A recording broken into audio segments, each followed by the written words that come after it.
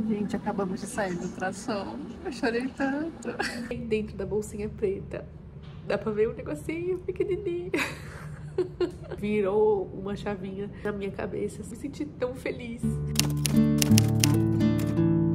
Oi, gente. Dia 16 de agosto. Tô aqui arrumada, esperando o cabelo secar. Hoje é o dia do nosso ultrassom e eu tô bem ansiosa. Agora é 1h25, a gente precisa chegar lá duas horas, então a gente já tá prontinho pra sair. E hoje foi um dos dias que eu acordei e eu não queria nem levantar da cama, como se eu quisesse só que o tempo passasse pra chegar a hora. Até me emocionei. Não sei como é que vai ser na hora do ultrassom. Hoje a gente vai descobrir quantas semanas eu tô exatamente, porque a gente não sabe. E acho que com mais precisão também a data prevista do parto. Aí, gente, depois do ultrassom eu faço o quê, sabe? eu não sei. É, eu sei que eu tenho um retorno com obstetra no próximo mês, mas está tão longe. Nossa, eu tinha uma impressão de que as grávidas faziam ultrassom, tipo, toda semana. Não é isso, não, gente. Pelo que eu entendi, é meio que um ultrassom a cada trimestre, assim, são poucos até o final da gestação. E, nossa, eu achei que seria, seria mais. Espero que eu volte com, com boas notícias.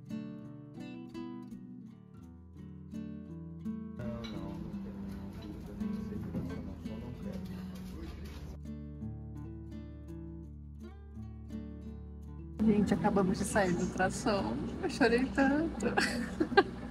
Confirmamos que é um bebê só, não é gêmeos.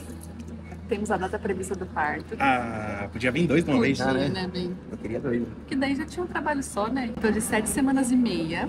Eu também achei que eu estaria de mais semanas, só que eu não tô com tanto sintoma, né? Pode ser que venha, pode ser que não. Ele tem um centímetro, um camarãozinho, um bebezinho, deu pra ouvir o coração.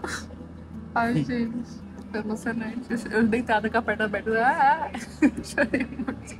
Não pode filmar na sala, mas a gente recebe as imagens e o vídeo no aplicativo, então eu já tô baixando aqui. Foi emocionante. Como foi bem ouvir o coração? Legal. Muito bom. Ficou mais real, não ficou mais real? É.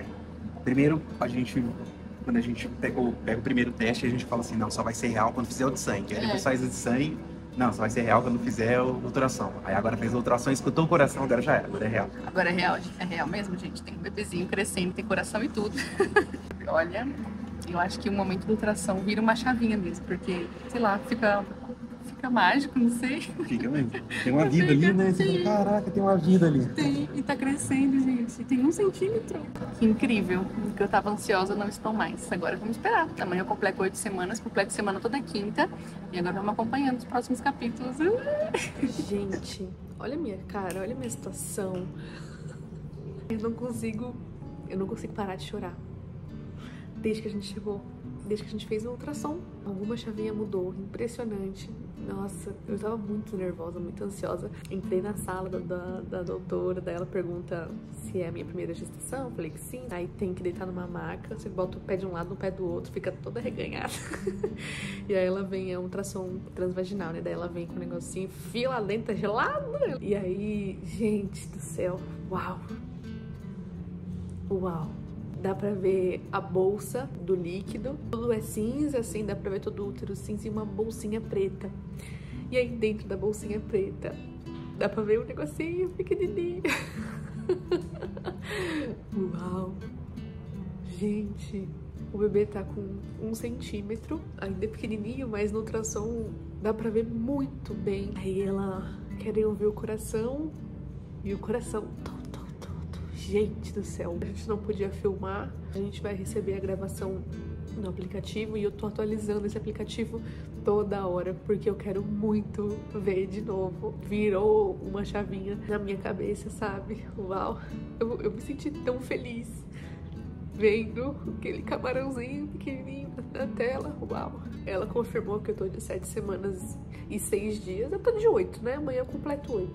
Então eu estou de dois meses sem enjoo, sem vômito, o que é bom, mas muito emotiva e engraçado, né? Que eu, nos últimos, nas últimas semanas eu tava chorando pela gestação, era um choro diferente, sabe? Preocupado, com medo do que ia ser, se estava tudo bem, se era real, se não era. E hoje, desde que eu descobri, foi um choro diferente, um choro feliz, sabe? Uau, eu não consegui parar de chorar durante o ultrassom inteiro. E eu fiquei assim, eu tô boba. Sabe quando você fica bobo com alguma coisa? Que, que bom que eu fiquei assim, porque eu acho que era essa reação que eu esperava ter no positivo. Eu queria ter reagido ao positivo assim, tipo, com esse choro, com essa alegria. E o positivo para mim foi um choque muito grande, mas não tem como você ficar chocado vendo um bebezinho de um centímetro, gente, se formando na sua barriga, meu Deus, ficou mais real. Eu queria saber se estava tudo bem também, né?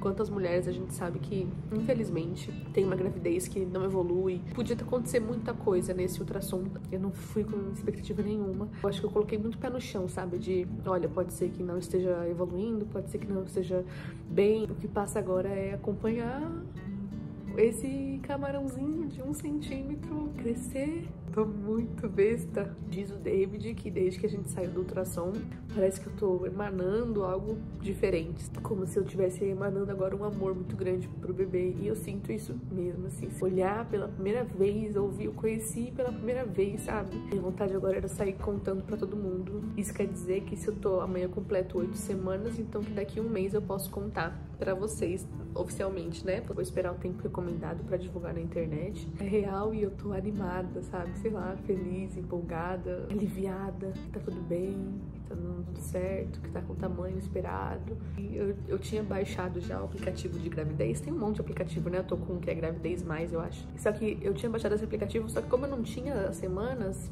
eu não sabia se o bebê do tamanho de um, de um feijão, se o bebê do tamanho de um mirtilo, eu não sei.